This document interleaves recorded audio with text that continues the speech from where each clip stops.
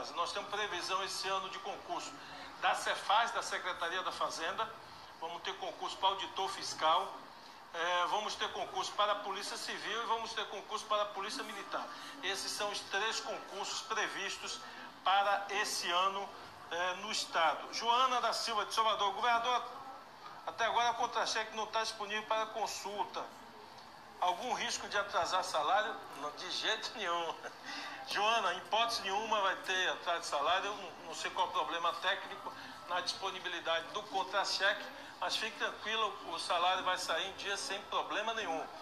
É, e Góes deve estar sintonizado assistindo aí, risco zero, não tem problema nenhum.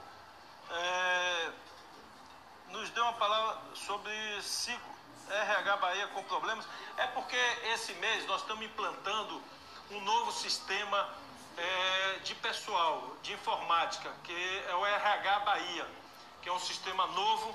Nós temos dois anos preparando esse sistema e entrou é, em vigor agora em janeiro. Então, é evidente tem um processo de implantação desse sistema e isso pode estar causando algum pequeno atraso na publicação do contra-cheque. Mas não se preocupe, não haverá problema nenhum do pagamento.